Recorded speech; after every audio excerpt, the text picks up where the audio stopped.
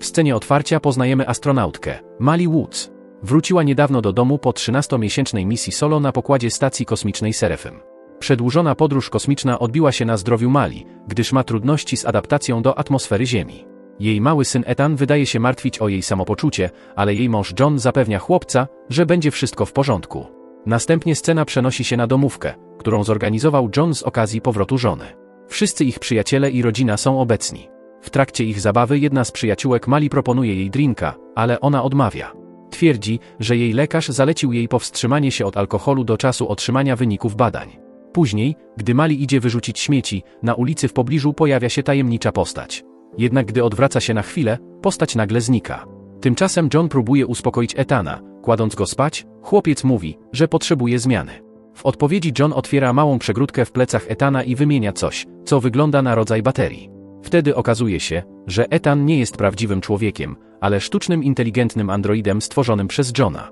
Następnego dnia Mali odwiedza Międzynarodową Agencję Badań Kosmicznych, ISEA, aby spotkać się ze swoim przyjacielem lekarzem, Samem, w celu przeprowadzenia oceny jej zdrowia. Sam, który wielokrotnie przeprowadzał wszystkie testy, przekazuje wstrząsającą wiadomość. Mali jest w ciąży. Zdziwiona, zastanawia się, jak to możliwe, skoro niedawno wróciła z misji solo, a ponadto jest bezpłodna. Pomimo tego, jej przyjaciel pyta, czy była sama na statku kosmicznym. Film przechodzi wtedy do wspomnień, przedstawiających czas Mali w kosmosie. Pracuje nad jakimś eksperymentem roślinnym, gdy otrzymuje wiadomość wideo od syna i męża. Kiedy zaczyna ją oglądać, połączenie nagle się urywa. Pyta swojego asystenta AI, Bene, o sprawę, na co on odpowiada, że to z powodu rozbłysków słonecznych. Mali każe mu zrestartować system komunikacyjny, ale całe zasilanie, włączając Bene, się wyłącza. Wyczując coś niepokojącego, idzie sprawdzić i naprawić kabel zasilający ręcznie. Gdy jest w pomieszczeniu z kablami, widzi przez okno swojego zmarłego byłego chłopaka Markusa, który podchodzi do szkła i pisze: Pomóż mi.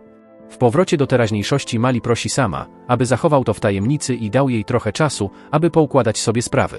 Później zostaje przesłuchana przez swojego przełożonego, dyrektora Alana Sparksa. Jest sceptyczny co do jej wyjaśnienia, jak to możliwe, że kilka godzin materiałów wideo zostało usuniętych z bazy danych Serefim. Mimo to ona twierdzi, że przypadkowo je usunęła zamiast skopiować. Tymczasem John prezentuje swój najnowszy projekt, Humanix, przed wiodącą firmą o nazwie Yasumoto Corporation. John opowiada o androidach w bankach i robotach MetaAssist, którzy potrafią wykonywać funkcje, ale nie posiadają emocji. Następnie przedstawia Etana wszystkim, nad którym stara się programować codzienne ludzkie doświadczenia. Szuka aprobaty i finansowania od zarządu w celu rozwoju swojego projektu. Jeden z członków zarządu pyta go o plan nagłego zakończenia w przypadku, gdyby Humanix zachowywały się źle. To pytanie obraża Johna, który twierdzi, że żaden rodzic nie pomyśli o zakończeniu życia swojego dziecka. Niestety, zarząd nie podoba się jego odpowiedź, więc odmawiają mu finansowania.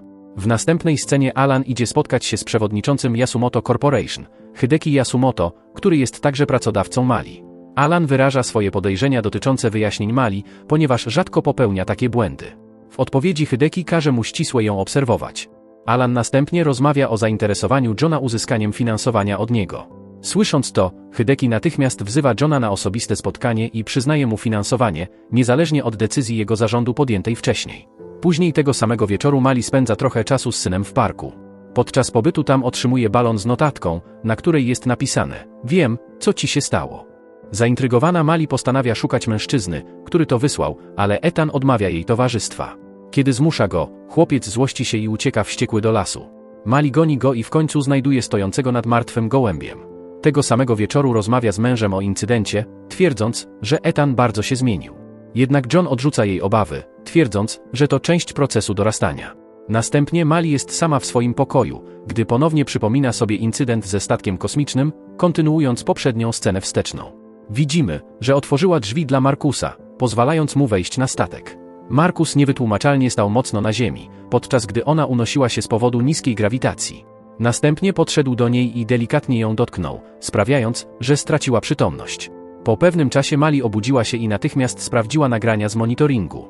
Ku jej zdziwieniu nagrania pokazywały wszystkie jej ruchy, ale nie było żadnego śladu Markusa. To odkrycie przestraszyło ją, więc gorączkowo usunęła wszystkie nagrania. W teraźniejszości Mali idzie wyrzucić śmieci przed domem, podczas czego zauważa mężczyznę. Kiedy się do niej zbliża, jest zszokowana, rozpoznając w nim Harmona Krygera, kolegę astronautę, który rzekomo popełnił niewybaczalne czyny. Twierdzi, że wie, co się wydarzyło podczas jej misji, ale zanim mogą porozmawiać, John dzwoni do niej z domu. W rezultacie Harmen odchodzi, obiecując wrócić później. Następnego ranka Mali budzi się i schodzi na dół, aby przygotować śniadanie. Witają ją jej mąż, który już jest ubrany do pracy. Przed wyjściem omawiają swoje plany na dzień, a John opowiada jej o romantycznej lunchowej rentce, którą dla niej zorganizował. Następnie udaje się do swojego nowego miejsca pracy, gdzie jego współpracownik oprowadza go po obiekcie. John jest pod wrażeniem swojego nowego laboratorium, które jest wszystkim, o czym marzył. W domu, gdy Mali bawi się z Etanem, słyszy stukot. Sprawdzając, jest zszokowana, gdy widzi Markusa w kuchni. Następnie doznaje nagłego bólu brzucha, co powoduje, że mdleje na podłodze. Etan słyszy, jak upada, i spieszy się na dół, aby znaleźć matkę leżącą nieprzytomną. Zauważa również dziwne ruchy na jej brzuchu, ale ignoruje to i próbuje ją obudzić. Pyta, czy wszystko w porządku, na co ona potwierdza. Później tego samego dnia Mali zabiera Etana do muzeum, gdzie on i kilkoro innych dzieci bawią się holograficznym obrazem ptaków i zwierząt. Podczas gdy dzieci się bawią, do Mali podchodzi sam. Wyjawia, że Alan nieustannie naciska na nią, aby dostarczyć raport o zdrowiu Mali. Jednak ta ostatnia mówi, że nadal potrzebuje trochę czasu, aby odkryć prawdziwą sprawę. Ponadto wyznaje, że widziała Harmona i twierdzi, że on sfingował własną śmierć. W tym momencie sam ujawnia, że w skanach mózgu Harmona wystąpiły nieprawidłowości, które uważa za rodzaj neurowirusa. Obawia się, że Mali także ma podobne nieprawidłowości, ale ta ostatnia odrzuca jej obawy. Zamiast tego Mali mówi, że chce wykonania badania USG w celu potwierdzenia ciąży, ponieważ nie ufa nikomu w tym momencie. Sam zgadza się i obiecuje znaleźć miejsce poza radarem, aby to zrobić. W międzyczasie widać Etana rozmawiającego z robotem informacyjnym na temat ewolucji ludzi. Robot wyjaśnia teorię doboru naturalnego i definiuje wymarcie jako coś, co dzieje się z gatunkami słabszymi. Etan wydaje się być ciekawy, ale zanim może rozmawiać dalej, pojawia się Mali i zabiera go. Nieświadomi tego, Harmen obserwował ich z góry przez cały ten czas. Kiedy matka i syn opuszczają muzeum, Harmen przypomina sobie swój czas na stacji kosmicznej, prowadząc nas do kolejnej wstecznej sceny. Okazuje się, że pracował nad czymś, gdy doświadczył przerwy w zasilaniu, dokładnie tak samo, jak Mali. Wtedy wziął latarkę i poszedł sprawdzić, tylko po to, aby znaleźć kilka śladów na podłodze. Ostrożnie spojrzał w górę i zobaczył swoją matkę, co wprawiło go w ogromny szok, ponieważ ta zmarła 30 lat temu. Wracając do teraźniejszości, Mali odwozi Etana do laboratorium Johna, ponieważ Hideki chce spotkać chłopca osobiście. Następnie udaje się do ISEA, gdzie sekretnie uzyskuje dostęp do nagrań misji Harmona. Na jednym z nagrań widzi, jak Harmon gorączkowo zabezpiecza drzwi przedziału. Zanim może obejrzeć dalej, słyszy, że ktoś się zbliża, więc ucieka z budynku. Tuż na zewnątrz Harmen zabiera ją samochodem i zawozi do odległego miejsca, gdzie aktualnie mieszka. Po przybyciu wyjawia jej całe swoje doświadczenie w kosmosie. Ponieważ wcześniejsza scena wsteczną trwa, widzimy, jak jego matka dotyka jego twarzy tak samo, jak Markus dotknął Mali. To go przeraża, więc ucieka do innych przedziałów. Ale ku jego przerażeniu, jego matka go śledzi, niewytłumaczalnie przechodząc przez wszystkie zamknięte drzwi. Pomimo paniki, udało mu się uwięzić ją w komorze przepływowej i ostatecznie uwolnić w przestrzeń kosmiczną. Według Harmona, dzielił się swoim doświadczeniem z członkami ISEA, ale oni uznali go za schizofrenika. Mali utożsamia się z jego historią i twierdzi, że potrzebują dowodów, aby poprzeć swoje twierdzenia. Następnie sam zabiera Mali i wozi ją do weterynarza, gdzie wykonuje badanie USG.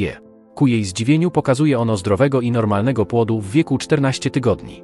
Z drugiej strony, John jest widziany czekający na Mali w restauracji, na lunch, który ona zdaje się zapomnieć. Tego wieczoru Mali konfrontuje Alana z wiadomością o swojej ciąży i pyta, co z nią zrobił, ale on nie oferuje żadnego wyjaśnienia. Alan udaje się potem do Hidekiego i przekazuje mu tę wiadomość. Pyta również, czy ciąża oznacza, że już ich znaleźli, na co Hideki niejasno odpowiada, myślę, że oni już są tutaj. Tymczasem Mali wraca do domu i przeprasza męża za niepojawienie się w restauracji. John zauważa, że coś jest nie tak, ale nie zmusza jej do ujawnienia tego. Oferuje jej czas, zapewniając jednocześnie, że nie musi przechodzić przez to sama. Wczesnym rankiem Mali wraca do domu po biegu i znajduje Alana czekającego na zewnątrz. Chce, aby przyszła do kontrolowanej strefy ISEA na kilka dni badań. Twierdzi, że jej ciąża jest wynikiem tajnego eksperymentu ciążowego agencji, w którym wymieszali właściwe zamrożone składniki Johna i Mali. Pomimo szoku spowodowanego tym odkryciem, Mali odmawia poddania się kwarantannie i odchodzi. Poza tym Ethan przygotowuje się do swojego pierwszego dnia w szkole podstawowej. John i Mali zabierają go do szkoły, ale ku ich zdziwieniu inni rodzice wyrażają zaniepokojenie obecnością robota wokół ich dzieci. Jednak para jakoś udaje się ich przekonać, że ich syn nie stanowi zagrożenia. Później Mali udaje się do przyczepy Harmona, aby zapytać, czy musiał przejść badania po swoim powrocie. Jednak po dotarciu tam nie znajduje go. Rozgląda się po przyczepie i widzi dziwny symbol w kształcie apolińskiej uszczelki. Tego samego wieczoru John organizuje przyjęcie urodzinowe dla Mali, aby zrekompensować jej nieobecność w przestrzeni kosmicznej. Na przyjęciu bierze udział kilku przyjaciół, członków rodziny i kolegów. Mali jest zaskoczona widząc brata Markusa, Timę. Dwójka prowadzi prywatną rozmowę na temat Markusa i jak bardzo cierpieli po jego śmierci. W pewnym momencie sam pojawia się na przyjęciu i pobiera próbkę krwi Mali do przeprowadzenia testu dna. W trakcie trwającego przyjęcia wyłącza się prąd, więc John udaje się do swojego gabinetu, aby włączyć generator. Tam znajduje ptaka uwięzionego w pudełku. Gdy zaczyna go badać, pojawia się Ethan i przyznaje, że to on to zrobił.